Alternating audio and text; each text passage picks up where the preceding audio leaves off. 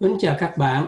Hôm nay tôi xin trình bày một cái đề tài uh, tương đối là mới, đó là về biofilm. Thì biofilm là một cái phát hiện mới uh, về vết thương um, từ đầu thế kỷ thứ 21, tức là khoảng năm 2000 cho đến nay thì cái kiến thức của chúng ta ngày càng lúc nhiều hơn. Và chúng ta có những cái biện pháp xử lý ngày càng đa dạng hơn.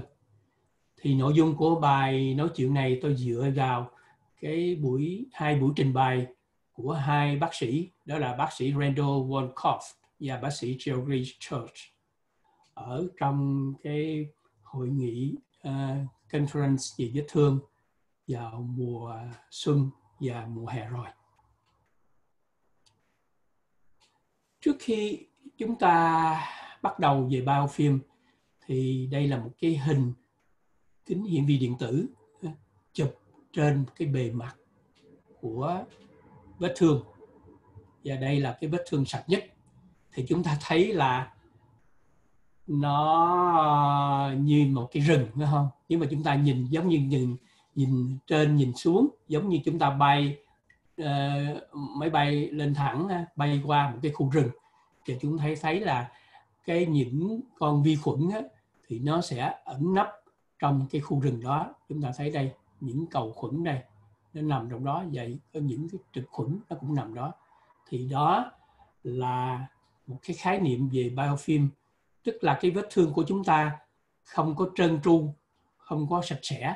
Dù là chúng ta nhìn thấy là nó rất là sạch nhưng mà thực tế là trên bề mặt đó nó có một cái lớp giống như là cái khu rừng. Và trong đó những cái vi khuẩn nó ẩn nấp trong cái khu rừng đó. Đây là một cái hình khác thì chúng ta thấy à, thấy rõ hơn giống như là những cái khu rìa rừng. Và chúng ta thấy đây là những cái sợi à, những cái sợi này chúng ta có thể nói là nhưng giống như là những đường cao tốc. Ờ, mà ờ, cái vi khuẩn vi, vi khuẩn nó xây dựng trong cái khu rừng đó nó sẽ có những cái mạng lưới chằng chịt ờ, để mà nó tạo thành một cái hệ thống liên lạc với nhau. Và đây là cái hình để mà chúng ta thấy là cái sự cấu tạo sự hình thành của biofilm. Đầu tiên là chúng ta sẽ thấy là những cái con vi khuẩn từ cái môi trường nó sẽ đáp xuống và đậu trên cái bề mặt của chỗ nào đó bề mặt đó có thể là bề mặt của da hoặc là cái bề mặt của một cái chất trơ, vân vân. Thì khi mà nó đậu vào trong đó thì bắt đầu nó bám lên cái bề mặt đó. Và lúc đó thì chúng sẽ tiến hành những cái uh, những cái phản ứng và những cái uh, những cái hoạt động ờ, để mà tạo thành một cái khu rối ở đây chúng ta thôi gọi là cái tornado giống như là một cái một cái cơn tróc. Và lúc đó là càng lúc nó càng nhiều hơn. Và cái cái cơn tróc này hay là tôi nói giống như là cái khu rừng đó thì nó không phải là nó bằng phẳng mà nó có những cái hang hốc để mà trao đổi chất và những con vi khuẩn đó nó bám trong những cái cành cây trong những cái khu rừng đó và sau đó thì nó sẽ vỡ ra và tung tóe ra và nó bám đi chỗ khác. Thì đó là cách thành lập của biofilm. Ờ, thì cái biofilm này nó là một cái sản phẩm của của vi khuẩn mà vi khuẩn vi khuẩn này nó sẽ tạo ra những cái uh, hậu quả mà chúng ta sẽ nói tiếp. Thì chúng ta sẽ có một vài thuật ngữ mới mà chúng ta cần nên làm quen nhất là gọi là planktonic bacteria và biofilm bacteria. Ý nghĩa của nó là như thế nào? Nó là cái vi khuẩn đó nếu mà nó còn đi rải rác giống như nó đi chơi, nó đi dạo và rải rác thường gọi là planktonic, tức là nó uh, nó phiêu dạt ờ, từ chỗ này qua chỗ khác thì gọi gọi là planktonic. Nhưng mà khi mà nó bám vào một cái mặt phẳng nào đó và bắt đầu nó tạo ra những cái chúng ta gọi là biofilm giống như là nó cư trú ờ, nó đóng đô vào một cái chỗ nào đó thì cái con vi khuẩn này không còn gọi là planktonic nữa nó không còn phải là con con phiêu dạt nữa mà nó thành một cái cái dân cư ờ, một cái dân cư mà đóng tru ờ, cư trú vào một cái khu nào đó, thì tính chất của cái con vi khuẩn này nó sẽ hoàn toàn khác hẳn với tại tính chất cái con vi khuẩn vi khuẩn khi mà nó phiêu dạt. Do đó thì cái vi khuẩn mà của biofilm là một cái vi vi khuẩn đặc biệt mà chúng ta cần biết. Một điều mà chúng ta cũng cần cần biết thêm nữa là vi khuẩn biofilm. Nó, nó không những là bám trên cái bề mặt uh, sống tức là bị bề mặt của tế bào mà nó còn có khả năng bám vào cái những cái bề mặt trơ tức là không có hoạt động sinh học. Nó vẫn có thể bám vào được. Ý niệm thứ hai chúng ta cần biết đó là chúng ta gọi là quorum sensing. Tôi cũng không biết là dịch như thế nào uh, qua tiếng việt. Nhưng mà cái quorum sensing này có nghĩa là gì? Là khi mà cái con planktonic bacteria này mà nó bám vào một cái mặt mặt đó là mặt sống hoặc là mặt trơ thì nó sẽ sinh sản. Nó sinh sản đến một cái lúc nào đó thì bắt đầu nó sẽ phát ra một cái tín hiệu khác mà tín hiệu đó nó nhờ cái tập trung nhờ cái mật độ dân số của nó thì nó mới có khả năng phát ra tín hiệu. Tức là có nghĩa là vài con vi khuẩn giống như những uh, những tên cướp lẻ tẻ thì nó không làm được gì cả. Nhưng mà khi mà nó tập hợp lại thành một cái băng đảng ừ, thành một cái băng nhóm có tổ chức thì lúc đó nó sẽ phát sinh ra những cái đặc tính khác thì lúc đó người ta gọi là quorum sensing tức là cái khả năng của một tập hợp vi, vi khuẩn nó sẽ biến đổi cái tính chất à, của toàn bộ tập thể vi khuẩn nằm ở đó. Thì lý do đó cái ờ, cái cái ý niệm này để mà đưa đến một cái dẫn đến một cái ý niệm thứ hai đó là quorum sensing inhibitors tức là có những cái chất à, nó không diệt vi khuẩn nhưng mà nó sẽ triệt tiêu cái quorum sensing này đây là một cái phát hiện à, về những chất ức chế và có đặc tính là nó làm à, phá vỡ cái quorum sensing này à, chúng ta sẽ nói tiếp trong cái phần điều trị của biofilm.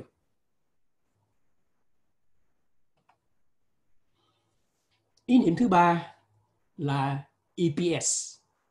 EPS uh, à, viết tắt của chữ extracellular polymeric substances.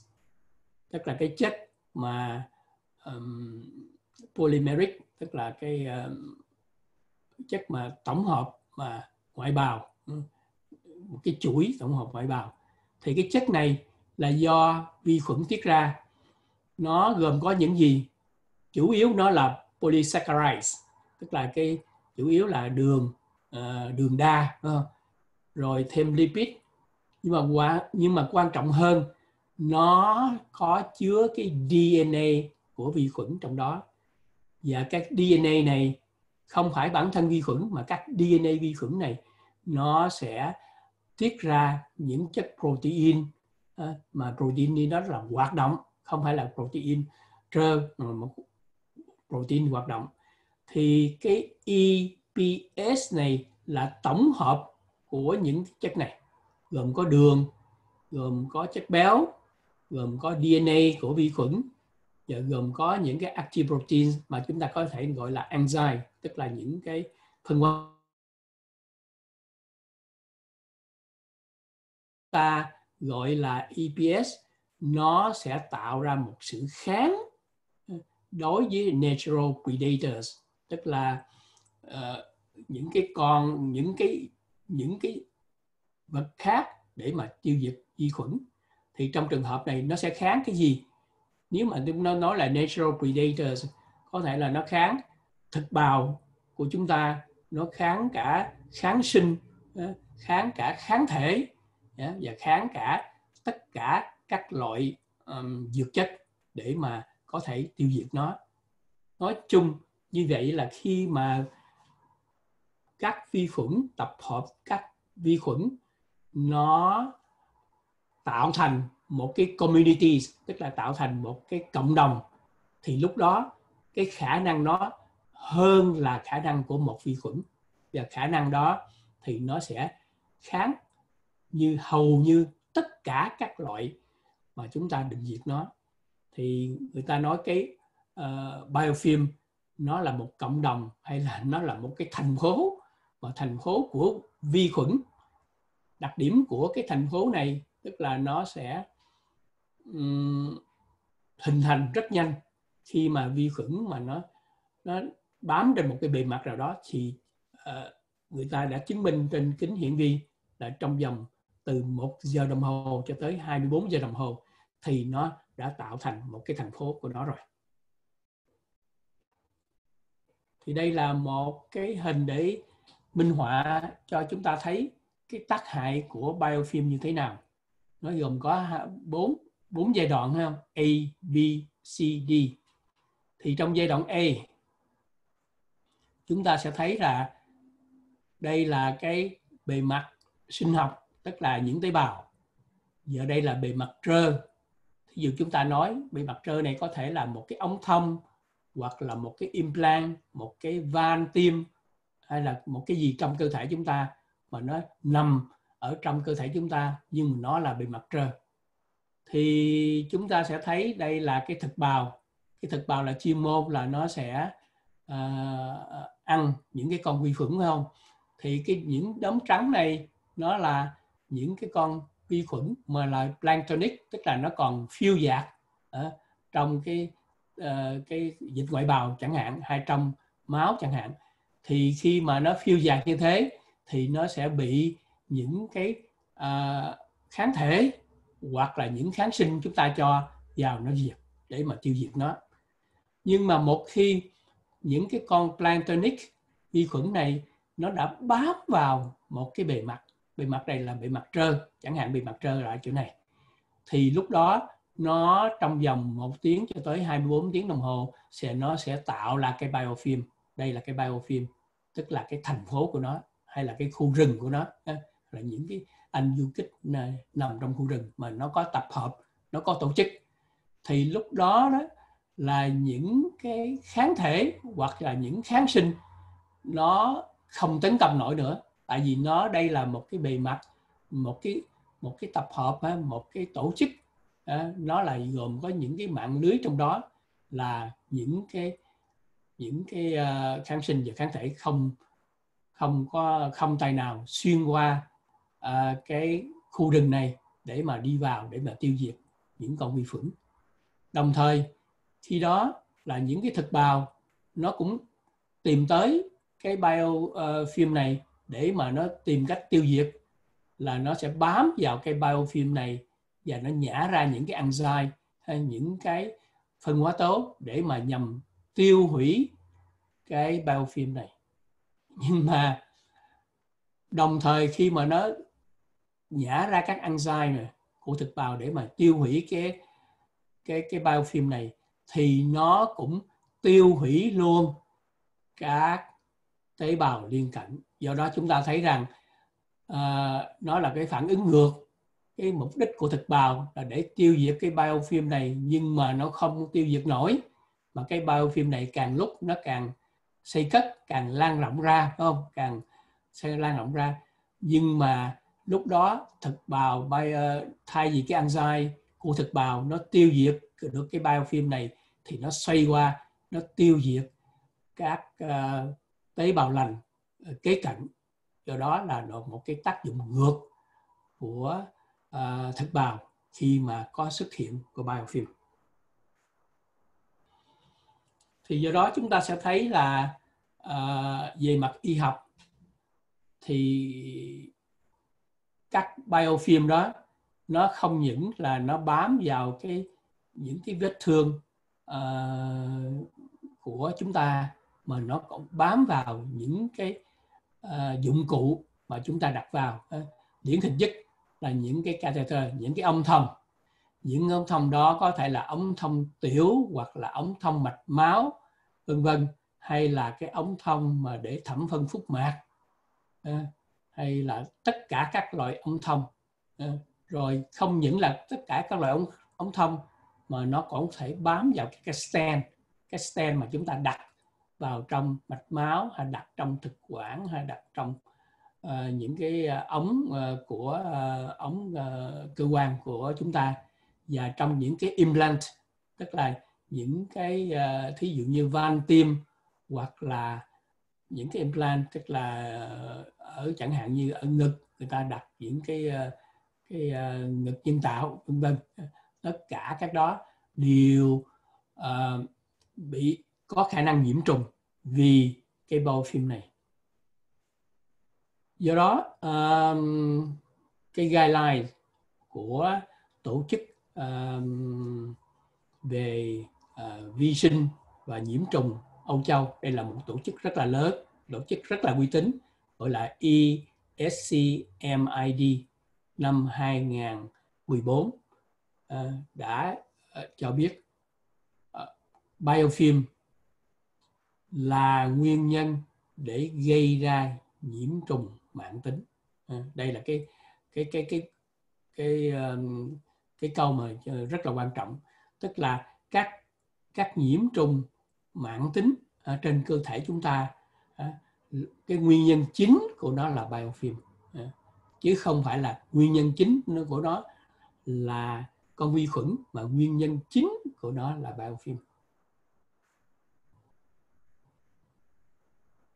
Thì uh, một vấn đề là chúng ta biết là cái biofilm đó là một cái khu rừng hay là một cái thành phố mà nó có uh, ẩn nấp những cái con vi khuẩn trong đó thì cái con vi khuẩn đó thì chúng ta phải, uh, muốn mà tiêu nó thì chúng ta phải nhận diện nó là những con vi khuẩn nào thì phương pháp cổ điển nó là phương pháp cấy đúng không? và hiện nay người ta nhận thức rằng cái phương pháp cấy này là không còn chính xác nữa và không còn toàn diện. Là vì sao? Là vì tại vì trong cái biofilm đó là có nhiều loại vi uh, nhiều loại vi khuẩn nằm trong đó. Và nó nó kết hợp nhau nó tương tác với nhau. Và khi mà cấy là chúng ta chỉ lấy một con vi khuẩn ra thôi. Tại vì chúng ta tách nó ra và chúng ta tách và chúng ta nhận diện mà nhận diện đó một con vi khuẩn thì sự nhận diện đó có thể bị sai tại vì nó đâu có đại diện cho toàn bộ các vi khuẩn trong cái khu rừng đó. Và thứ hai nữa là là nó không toàn diện tức là nó chỉ lấy được một con. Do đó hiện nay khuynh hướng mới của uh, người ta là người ta uh, nhận diện vi khuẩn bằng cái phương pháp sinh học phân tử molecular. Bây giờ chúng ta nói về cái kỹ thuật chẩn đoán sinh học phân tử.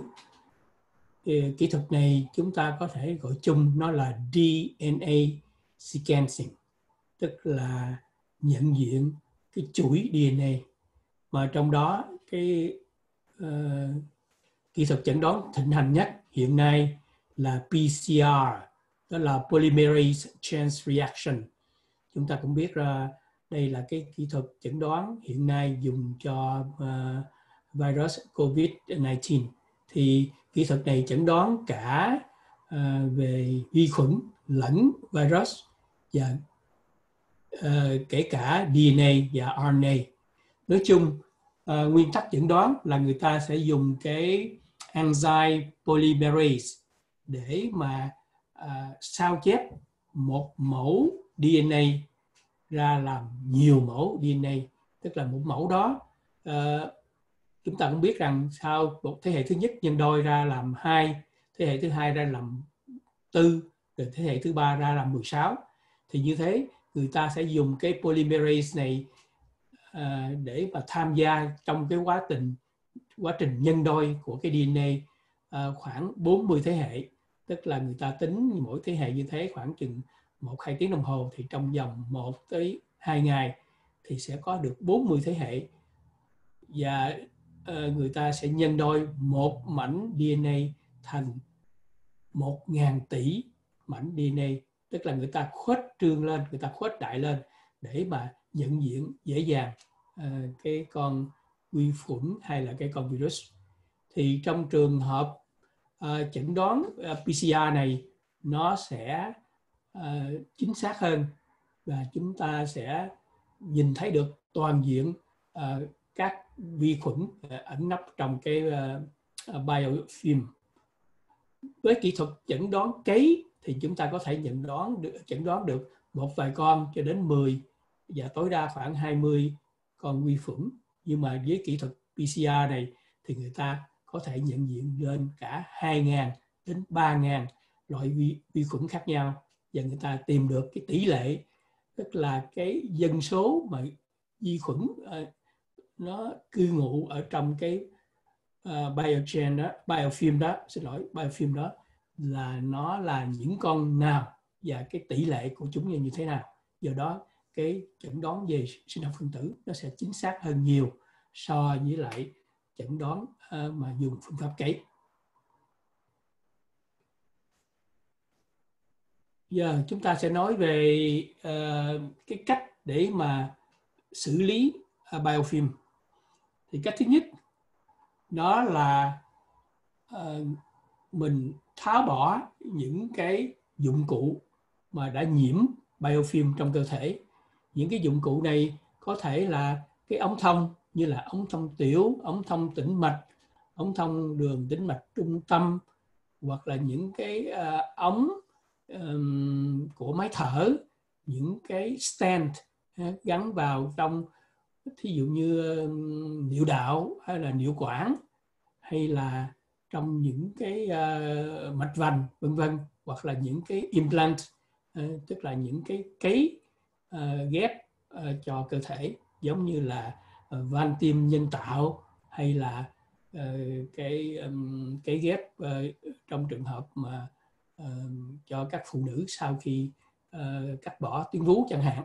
Đó là những cái mà nếu có khả năng có nguy cơ là đã nhiễm khuẩn do biofilm thì cái biện pháp duy nhất và hay nhất là ờ, tháo gỡ ờ, tháo bỏ nó đi vì không thể nào điều trị bằng kháng sinh mà có thể hết được.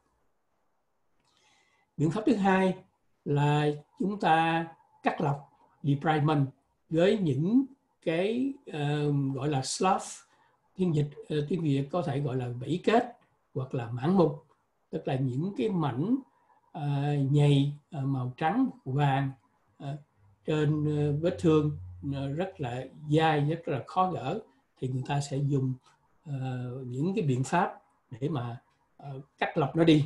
Thì biện pháp này có thể là bằng phẫu thuật dao kéo hoặc là bằng sinh học ừ, hoặc là bằng hóa chất hoặc là bằng cơ khí hoặc là bằng cơ học vân vân. Thì đây là à, kỹ thuật về cắt lọc này. Có thể chúng ta phải nói qua một cái video khác. Biện pháp thứ ba là dùng biocides tức là các à, vũ khí mà uh, về kháng khuẩn các biocides này ờ, sẽ trình bày trong cái slide kế tiếp. Biện pháp thứ tư là phá vỡ cái màng uh, biofilm tức là cái matrix cái màng đó. Thì cái màng này tức là như hôm nãy tôi nói đó là màng ờ, uh, EPS đó là extracellular polymeric substances. Tại vì biofilm cái màng đó là cái màng đặc biệt mà nó kết cấu bởi nhiều chất khác nhau những cái chất như là như là các polysaccharide lipid protein. Trong đó thì có cái DNA của uh, con vi khuẩn cũng như là những cái enzyme do con vi khuẩn tiết ra. Đồng thời cái những chất mà phát những cái tín hiệu giữa vi khuẩn với nhau. Đó là cái biện pháp uh, thứ năm là biện pháp mới nhất là cái chất ức chế. Cora sensing như chúng ta đã nói cái Cora sensing nó là tín hiệu giao tiếp giữa các uh, vi khuẩn với nhau và có thể những vi khuẩn khác nhau giao tiếp với nhau để tạo ra một cái uh, một cái ảnh hưởng uh, chung của một cái tập đoàn vi khuẩn trong biofilm thì những tín hiệu này có thể bị phá vỡ bằng các chất ức chế chúng ta gọi là Cora sensing inhibitors. Thì về các chất kháng khuẩn hay biocides này nó có uh, chia làm năm năm loại như thế. Thứ nhất là antiseptics là đúng là chất kháng khuẩn gồm có các iốt, các tím, gentian uh, ờ, và uh, bạc như PHMB nó là polyhexamethylene biganide và chlorhexidine. Đây là những cái chất thông dụng nhất hiện nay. Tôi nghĩ là ở Việt Nam cũng vậy, cũng vậy ở ở Bắc Mỹ cũng vậy là những chất thông thường nhất để sử dụng để mà diệt khuẩn. À, cái thứ nhóm thứ hai là antimicrobial peptides. Đó là những cái protein protein mang tính chất kháng khuẩn. Nó khác với antiseptic là có thể là cái chất hữu cơ hoặc chất vô cơ nhưng mà đó là những chất không sống. Còn trong khi đó peptides là những cái cái những cái uh, sinh chất mà bản chất nó là protein và nó diệt khuẩn. Thí dụ như lactoferrin đó là cái chất mà có trong sữa mẹ hoặc trong sữa bò. Chất này có, có tính chất diệt khuẩn. Defensing so amino acid đây là những cái chất nó là điều là protein nó là điều là peptides để mà có tính chất kháng khuẩn. À, đây là một cái đề tài khác mà chúng ta phải trình bày một trong một cái buổi khác. Nhóm thứ ba là false metabolisms uh, metabolics là những cái uh, chất biến dưỡng mà giả. Nó là không phải thật. Tức là nó nó giả cái chất thật để là đi vào cái chu trình biến dưỡng và phá hủy cái chu trình biến dưỡng đó. Thì gồm có những chất như là silicon đó là một cái loại đường. À, à, mà chúng ta thường thấy silicon này có thể trong thấy trong, trong những cái kẹo chewing gum. À, nó có cái à, chất này nó là ngọt nhưng mà đồng thời nó diệt khuẩn ở trong miệng để mục đích để mà diệt khuẩn trong miệng chẳng hạn do đó người ta dùng trong các kẹo uh, chewing gum. Uh, hoặc là những cái loại đường khác gallium và selenium. Loại thứ tư là những cái khí thì thứ nhất là cái HBO HBO này không phải là là ờ, kênh truyền hình về uh, chiếu phim. Cái này là hyperbaric oxygen tức là người ta dùng cái chất oxygen mà áp lực cao trong phòng áp lực cao để mà trị uh, để mà trị uh, con những con vi khuẩn hoặc là cái nitric oxide hoặc là dùng ozone hoặc là cold plasma. Đây là những cái chất mà uh, nguyên chất bản chất của nó là vật lý để mà mà diệt khuẩn. Và cuối cùng nó là phage and phase products tức là phage là thực khuẩn. Và những cái sản phẩm thực khuẩn thì những sản phẩm thực khuẩn này đúng ra thí dụ trong cơ thể chúng ta là có những con thực bào không? Để mà để mà ăn các vi khuẩn. Mà những cái sản phẩm về thực khuẩn này có thể chỉ là những cái con virus và nó bám vào trong vi khuẩn để mà nó ăn cái con vi khuẩn này. Đó là một cái uh, một loại điều trị khác của biocide tức là những cái chất kháng khuẩn. Về cái sự phá vỡ cái màng uh, matrix này thì nó có ba nhóm. Nhóm thứ nhất là nó phá vỡ cái uh, kết nối uh, polymeric tức là gọi là chất trùng hợp hay là còn gọi là chất uh, cao phân tử. Thì cái có những cái loại như là dispersin uh, những cái loại này đây DNA acetic acid nó sẽ phá vỡ cái kết nối của cái à, uh, cao phân tử này. Tức là nó phá những cái kết nối của cái màng biofilm. Nhóm thứ hai là cái nhóm nó hòa tan hòa tan cái à, uh, cao phân tử uh, mà cái cao phân tử này là hòa tan những cái chất cái bằng chất uh, hoạt chất bề mặt surfactant chúng ta đã biết rồi có một cái uh, những cái chất nó giữ sức căng bề mặt thì để mà cho cái hoạt động của biofilm thì những cái chất này nó sẽ vào nó hòa tan cái những chất tan, chất uh, hoạt động bề mặt này để cho cái bề mặt cái này không còn giữ được cái sức căng của nó nó nữa. Thì như thế nó sẽ phá gỡ và nó làm cho những cái lỗ hổng để mà cho kháng sinh hoặc là nhờ cho những cái kháng uh, những cái diệt khuẩn nó đi vào trong cái bao phim được. Thì đây là hai chất thông dụng nhất. À, hai chất này chúng ta cũng biết rằng Ờ, đều có trong kỹ nghệ cũng như trong dược chất chẳng hạn. Như cái chất benzalkonium chloride này người ta thường người ta bỏ vào trong các uh, thuốc nhỏ mắt chẳng hạn. Và những cái chất khác để người ta giữ thực phẩm để mà không bị uh, nhiễm khuẩn. Đó là cái loại người ta gọi là chất hòa tan bề mặt. Và cái nhóm cuối cùng đó là chelators tức là những cái nhóm kết nối. Nó kết nối gì? Nó sẽ vào, nó sẽ kẹp ờ, những nó kẹp vào các kim loại metal bonds ờ, tại vì trong màng biofilm nó kết hợp với nhau và nó có cần những cái kim loại giống như sắt hoặc magnesium và canxium để mà nó kết nối ờ, cái cao phân tử với nhau. Thì cái kết nối này có thể nó là những cái kim loại. Thì những cái chất này vào nó sẽ kẹp các kết nối này, nó lôi các kim loại đi ra khỏi và nó sẽ làm phá tan cái kết nối của màng biofilm. Ờ, trong đó điển hình như là chất ETA, ETA và Sirophorose tức là chúng ta biết ETA nó là cái chất mà thường dùng trong xét nghiệm ờ, nó là cái chất mà nó kết hợp với calcium. Do đó nó nó lấy calcium đi và nó sẽ làm phá tan nó làm sao phá vỡ cái cái sự kết nối của cái màng biofilm. Cũng như là siderophores là nó kết hợp với lại sắt chẳng hạn để mà nó lấy đi phân tử sắt và nó phá vỡ cái uh, những cái kết nối này. Về Corazon inhibitor tức là chất ức chế tín hiệu uh, giao tiếp giữa các uh, vi khuẩn với nhau. Thì đây là những chất những cái khuynh hướng mới nhưng mà có những cái chất cũ ví dụ như là hamalin tannin đó là một cái tannin trong một cái uh, dược thảo mà người ta dùng để mà người ta phá cái tín hiệu giao tiếp giữa các uh, uh, vi khuẩn hoặc là mật mật ong. Uh, cái hai với hai cái chất này thì tôi cũng không rành lắm các bạn có thể tìm hiểu thêm trên internet.